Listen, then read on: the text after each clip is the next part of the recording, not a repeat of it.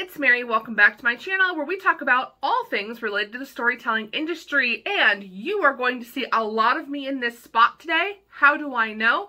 Because it is Monday morning, so I'm actually recording this intro after I recorded the rest of this video. but this is a vlog style video, kind of. Although it's a lot of me sitting and talking still, but it is a vlog style video where I take you along my release week for Haunted Dearborn County, Indiana cover up here, which came out on Monday. And so I was like, instead of me just sitting and, you know, talking for like five minutes, let's just take you day by day by day and show you how release week went. So it's a lot of me sitting in this spot and talking, but it's a lot of what I hope you find interesting and fun information. So there you go. Let's carry on to release week and see how things went. Hey guys, it is Monday and it is a very special day today because it is the release of me and my sister's book, Haunted Dearborn County, Indiana. It is available in stores today and I mentioned in my intro to this video that I was going to be just doing random clips throughout the week, kind of vlog style for you guys so that you could go along what this release week looks like for me. And I have to be honest with you, this day is actually pretty ho-hum so far because I'm not doing much. So I ended up staying up really late last night. This is so stupid. But my sister and I stayed up till like midnight because we wanted to see it switch from like, you know, pre-order to like available. And so we ended up staying up and calling each other right after it flipped over. And we're like, oh my God, we're published authors. So we were so excited.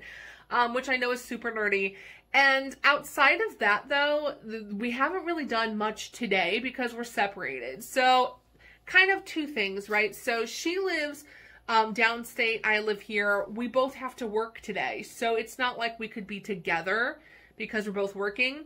And then the other part of that is for me, it's kind of less exciting. Like, I had this dream of like going out after work and going to the bookstore and all that stuff but my market is not here. So although all bookstores carry it, it's not immediately on the shelf here. So our book is a local history book. So the local history that it covers is my sister's county of Indiana.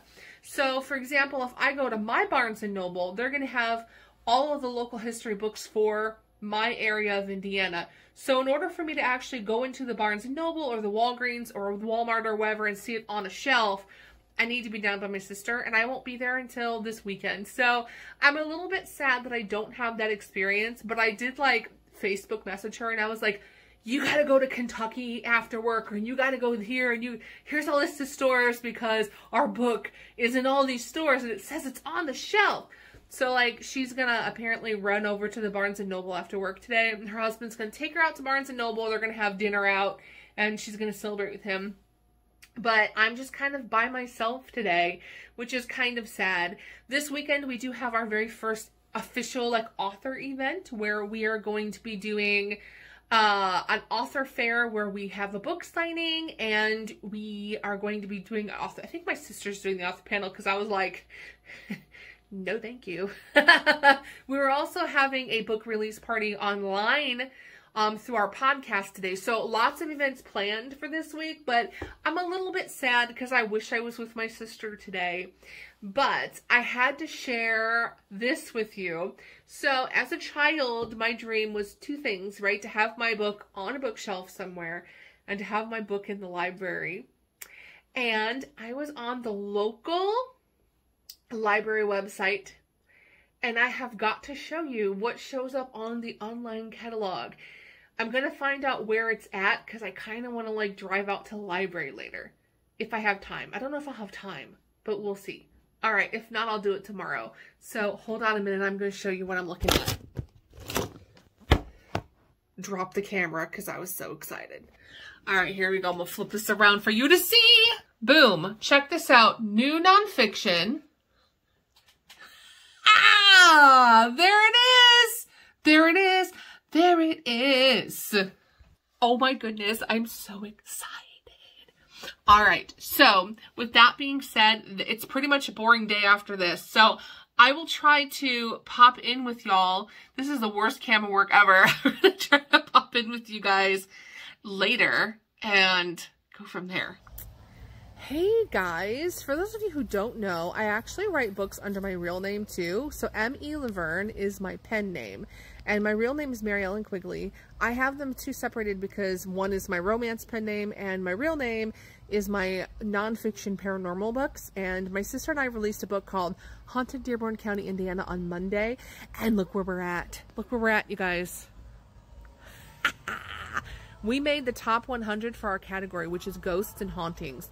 Now look, I don't know how any of this stuff is calculated on Amazon, but the fact that we made the top 100 of anything makes me super excited. So anyways, I had to share because like no one else can possibly understand how exciting this is unless you're an author. Okay, bye. Hey guys, so that's a clip from my TikTok I posted earlier in the day. A little bit later in the day, my sister and I decided to check and just see where we were ranked. And we ended up number 49. And not only did we end up number 49 in Ghosts and Hauntings, but we ended up hitting the top 100 for a second category. Now, I don't know how this is calculated. I really don't. I don't work for Amazon. I'm assuming it's how many books were sold that day. Look, I don't care. All I know is that it felt so validating for us to be like, oh my God, people are buying this and actually excited about this like we are. And I don't care if our book drops down to like 5,600 and whatever. I don't care. Um, the fact that we can say we were in the top 100 even for one day is so exciting and so mind-blowing to me because I love writing and it just makes me feel even more encouraged to write. So that was exciting. But on to some sad news.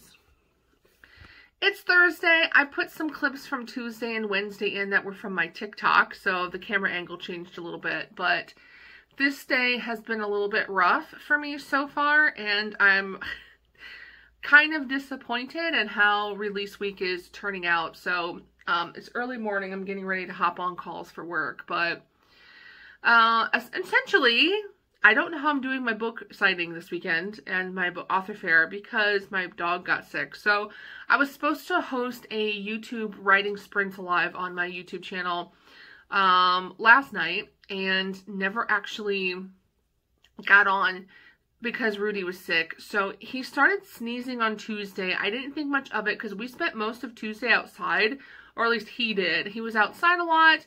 He had daycare on Tuesday and he spent the evening outside. And he was sneezing a lot, but I thought, well, it's allergies because he was rolling in grass and he was eating sticks and just, you know, doing dog stuff. And he has allergies, so I didn't think anything of it. But then on Wednesday, he began sneezing and wheezing and just lethargic, didn't want to didn't want to eat, just wanted to sleep all day, just very out of character for him. So I ended up taking him to the emergency vet and I'm glad I did because he has canine flu. So they sent him home on antibiotics and he's on basically like a dog version of Mucinex, but he is absolutely miserable. I'm going to flip over and show you guys him right now. There's the baby. I brought his dog bed in here so that he could sleep in mommy's office while she works. So as you can see, he is miserable. He's very clingy, very clingy to mommy. Just doesn't feel good. Very, very just out of sorts today. He didn't want to eat, but the vet told me if I could get him to eat just plain scrambled eggs, like nothing in the eggs, just scramble them. No salt, no butter, no nothing. That he could do that, or he could do boiled chicken and rice for a few days because the medicine is going to make his stomach upset. So it's rough. And because he has canine flu, he can't go to daycare or be boarded. So I was going to go, and he also has the strain apparently that can be affect cats. I didn't know that was a thing. There's one that can affect cats and one that can't. He has the one that can affect cats. So the dilemma I'm in right now is I cannot board him because he can't obviously be around other dogs for two weeks. Um, but I also can't take him to my sister's house because she has cats and the strain he has is able to be spread to cats. So I'm sitting here like, how do I go to my book signing author fair event when it's three and a half hours away? It starts at like nine o'clock in the morning. It's a different time zone than me. I don't know what to do. I don't know how to get there. And I know my sister's there, but the problem is, is I have materials for the table. so, like, I have to get there because she can't even set up the full table. And how am I supposed to get it to her when it's, like, in two days? Um, we're in Indiana, so we don't really have great overnight delivery service in the area of Indiana that I'm in. And in the area of Indiana that she's in. It would take three, four days just to get it to her, and we need it by Saturday. So right now my game plan is to try to find somebody who would be willing to take just come on and take him out on Saturday. I mean, I hate that because I don't want him to be alone that long. But I mean, if I get up at like three o'clock in the morning and I'm in the car by four, I can get to the event in enough time to get there. And then drive back the same day. I mean, that's really all I can think of doing. Um, but I gotta find somebody who's willing to watch my dog while I'm gone. But it stinks because my sister and I were gonna like spend Friday night relaxing. We were gonna go out and celebrate Saturday night, spend some time working on things for the podcast together, and then my baby got sick. So I'm not mad at him. He's a dog. He can't help being sick, but it's just horrible timing. So it was an exciting first few days, but now I'm feeling kind of bummed. I'm like, it's my first ever event as an author, and I'm scared I'm going to miss it. And I'm also scared of missing it because, I again, I have materials that, like, my sister needs to have for the table. So, this is stressful. Good morning. It is Friday morning, and we have a game plan for Saturday. I went and got me a very large coffee today because it's going to be a little bit of a crazy day for me at work. But as far as the author fair goes, so I did find my neighbor. My dog's playing in the background, but I did find a neighbor to let the dog go potty while I'm gone. So I'm driving down the day of and driving back, which means I'm going to be leaving the house at like 4 Friday.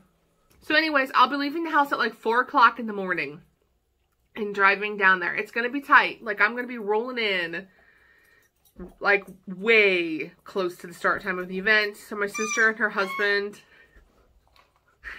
my sister and her husband are going to set up the table, and I'll just meet them there. But, y'all, I am nervous wreck. You bet I am hoping and praying that there is no, like, bad traffic. The only bright says it's 4 o'clock in the morning. So there shouldn't be anybody on the road at 4 o'clock in the morning on Saturday except for people have to work and, like, crazy people like me, truckers, that sort of thing. So, cross your fingers. Bright and early, 4 a.m. on Saturday. Okay, bye.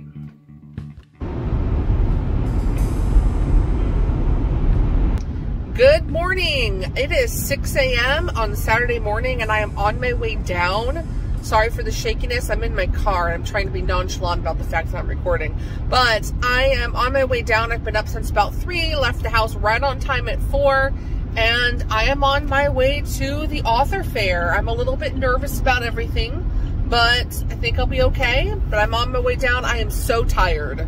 I have the world's largest coffee right now, so I'm probably going to have to get there and pee five times, but y'all, I'm making it. Good old Indiana morning, 6 a.m. bright and early, and I'm ready to go.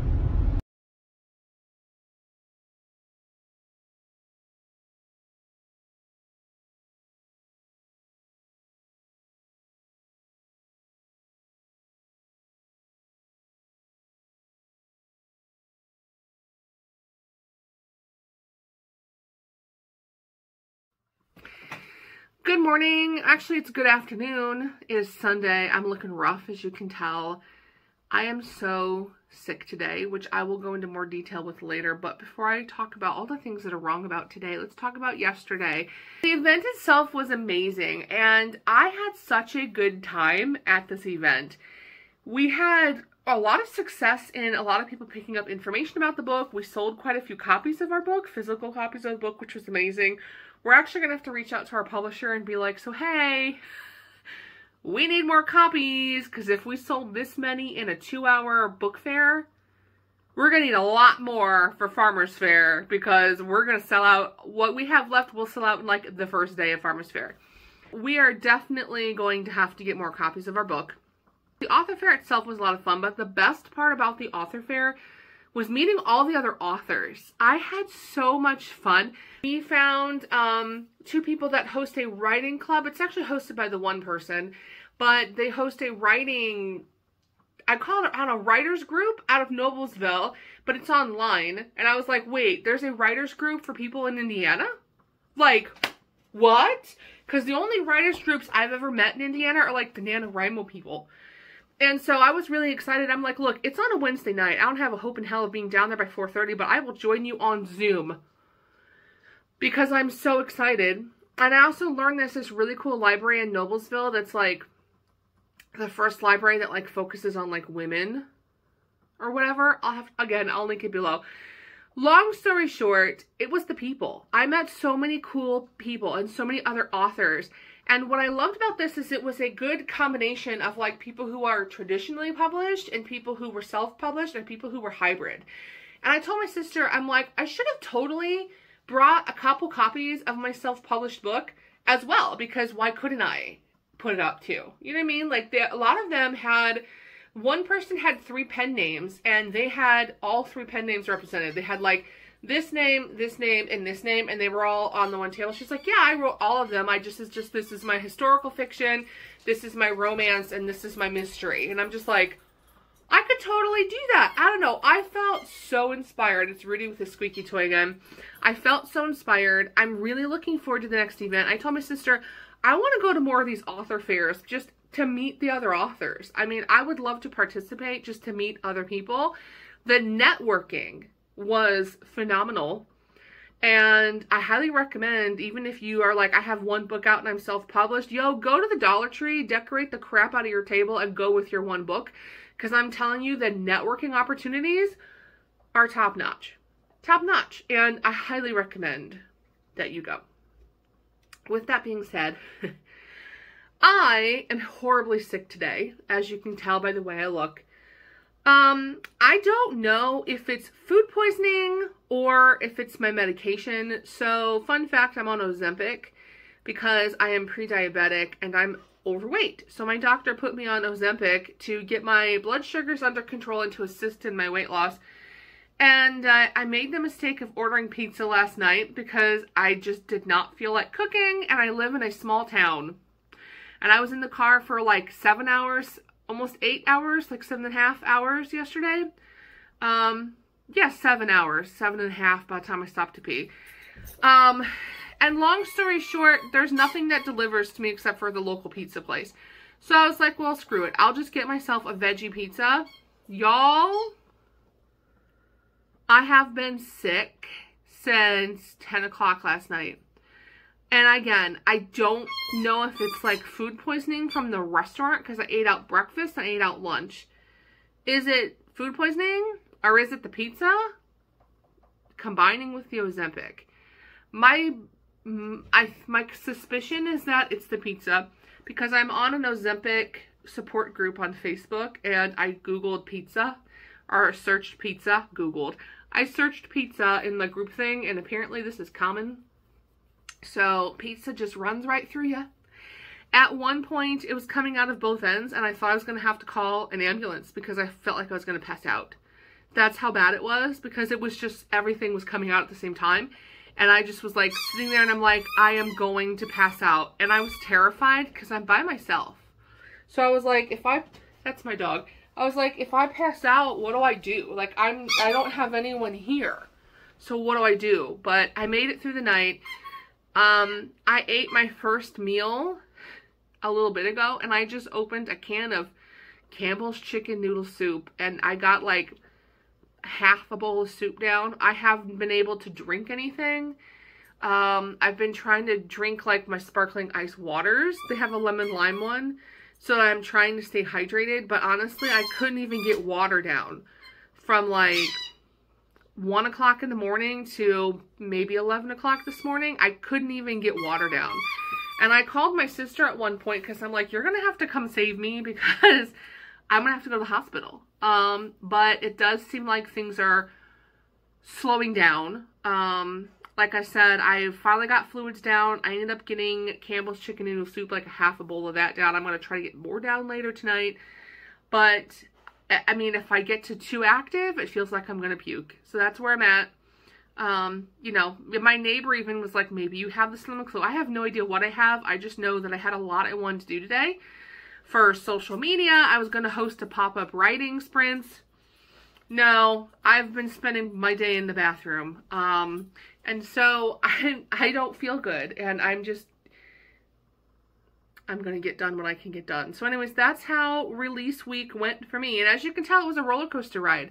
I had good days, I had bad days, um, but overall, our first event was success. And I actually would really love to write another book um, with Arcadia Publishing slash the History Press. The imprint's called the History Press. But uh, they have been phenomenal to work with. And I think I've said this before in another video, but if you, or I have one coming up, one of the two, I've talked about them in a video before, um, they are phenomenal to work with. I mean, the entire process from start to finish with them has been so smooth.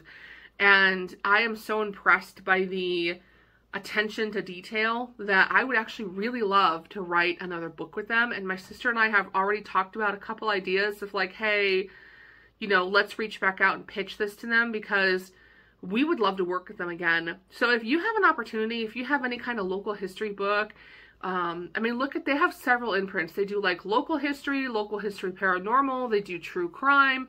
They have so many lines of books. And just go to arcadiapublishing.com and look at what they have and look at their submission guidelines because I'm telling you, they are absolutely phenomenal to work with. And if this is the kind of book that you're thinking about writing, I could not recommend them more.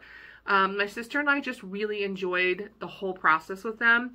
And I know that sometimes there's a lot of, is this a legit company? And they are legit, 100% legit and really good to work with. So anyways, we had a great release week. Oh, and I forgot to add in here that yesterday, when me and my sister were looking at our rankings on Amazon, we made it up to number 36 in Ghosts and Hauntings. So it's been a nice week. we made, we not only made the top 100 in Ghosts and Hauntings, which is our main category, but we made number 36. So I don't know how that's calculated again, but it's been a good day. So I'm going to go, I'm going to go like, I don't know what I'm going to do. I really am tired. I'm going to try to sleep if I can sleep. So happy release week. It was a good one, and hopefully I feel better, and we can chat soon. See y'all on Wednesday for writing sprints. Okay, bye.